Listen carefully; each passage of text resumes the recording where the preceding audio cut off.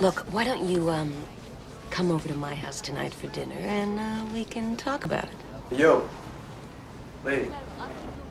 Yeah, you, uh, I was in here, what, six, right? Six six months. yeah, six months ago, and, uh, you had this real beautiful boo. It was, uh, Rivoli, Vavoli, Ravioli, or something like that. Vivoli, we're out of stock. You can try back in about two weeks if you like.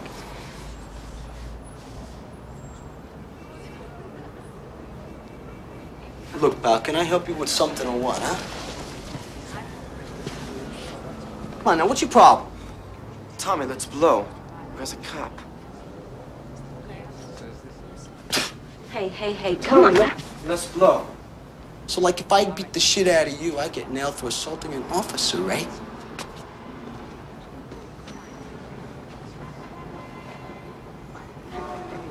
Little piece of shit.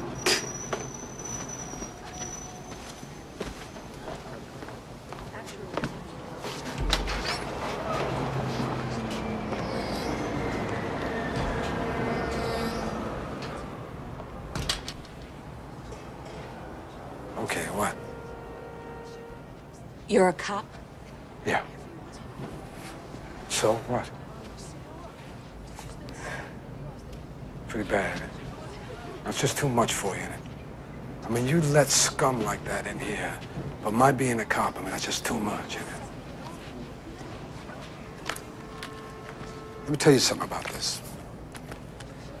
All these people in here with their rocks and their furs, they get robbed, they get raped. I'm all of a sudden their daddy. See, come the wet ass hour, I'm everybody's daddy.